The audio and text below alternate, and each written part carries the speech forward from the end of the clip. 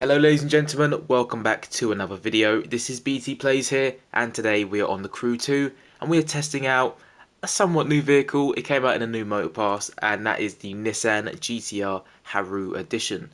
But before we get into that, don't forget to like and subscribe if you are new as it does help out the channel.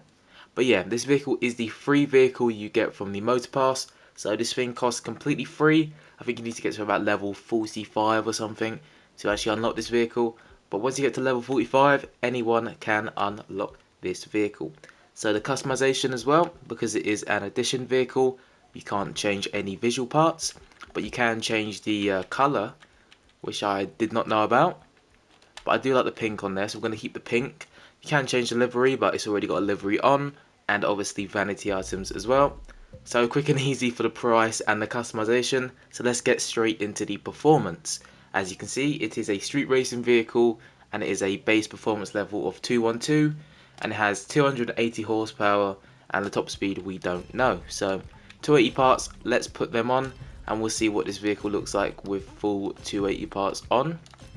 And hopefully this thing is good. Well, it's probably going to be the exact same as a Nissan GTR. I haven't used that vehicle in a while, but we'll see um, how this vehicle performs, but the stats first. So this thing is now 280 and has a top speed of 222 miles per hour. Has um, 849 horsepower, 0 to 60 in 2.47 seconds, quarter mile in 9.37 seconds, and brake distance 60 to 0 is 19.01 yards. So let's test out this vehicle and I will see you at an event in a second. Right, let's get this thing going, shall we? Does look very nice. It's got a wide body kit on as well, as I can see. Because the pink doesn't actually match that, but it's alright.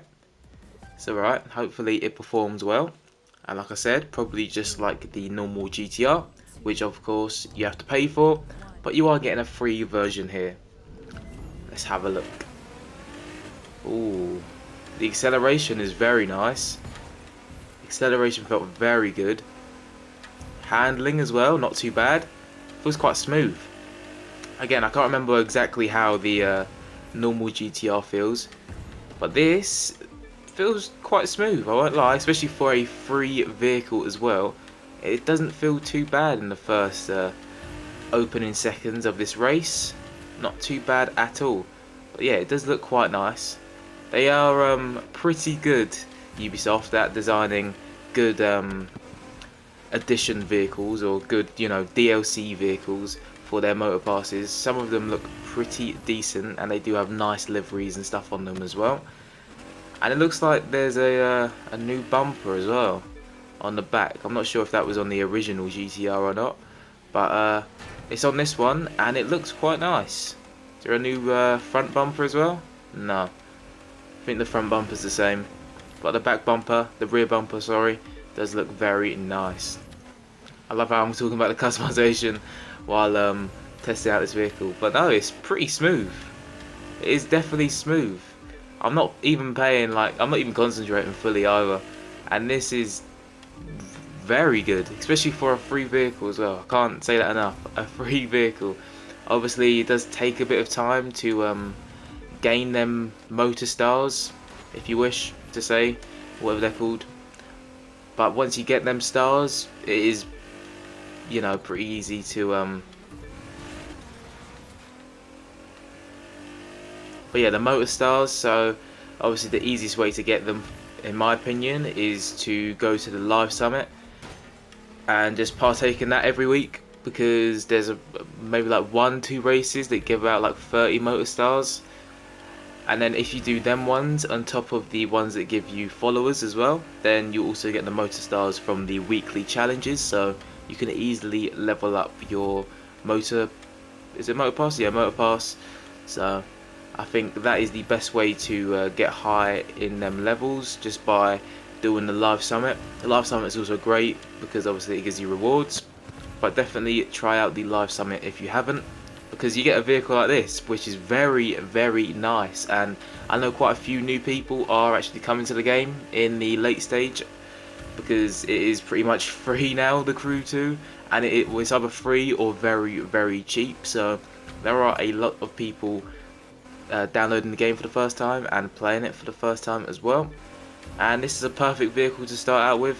Very good solid vehicle that could easily um, get you to build up all them 280 parts as quick as possible. Very good vehicle and very smooth as well.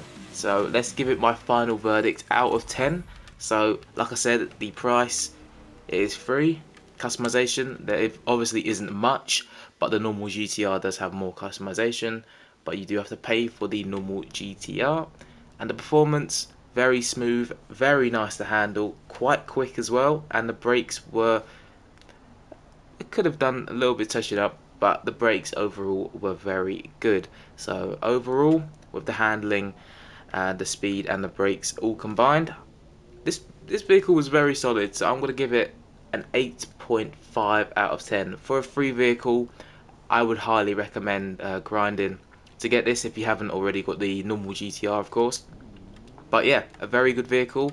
And if you are new I definitely recommend picking yourself up this vehicle but yeah if you did enjoy this video don't forget to like and subscribe if you are new as it does help out the channel and I will see you in the next video